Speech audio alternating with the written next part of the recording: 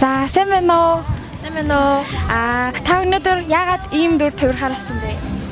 А энэ миний нэг нэг 2 жилийн өмнө 2 жил ер нь төлөвлөж исэн дүр. Аха. Тэгээд яг Япон pop соёлын өдрлөг 2 өдөр болохыг мэдээд яг 2 өөр хувцас ойж ирсэн. Тэгээ маргааш дахиад өөр хувцас имсэн гэсэн. Э нэм чи ямар нэртэй вэ?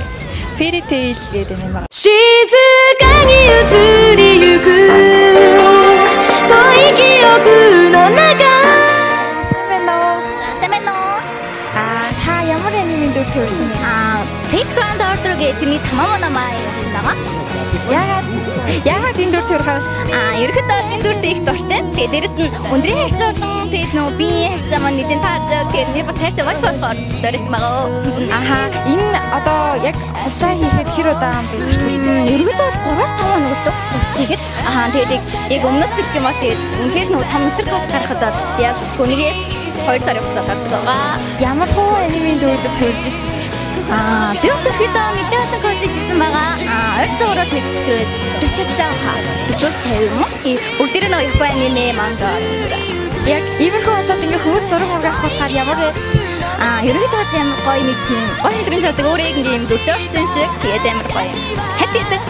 Тэгээд нөгөө хүмүүс ингээ амар гоё ингээ орм өгөө. Тэгээд ямар хөр хийдэг. Тэгсэн бүр ингээ амар баярлаг байгаа. Нөгөө нэг үнгийн тас ямар чигтэй байхгүй. Тэгээ харсан ч бүр амар хөөх харагдсан.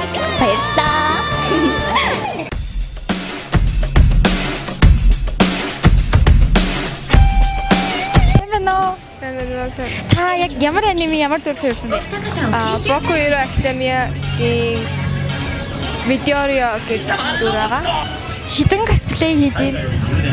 А 14 оноос хойш нэлээд олон косплей хийсэн. Намартаж 30 орчим болоо хаа. За баярлаа. はーい、ご主人様ご主人様が好きだ。卵の前だ。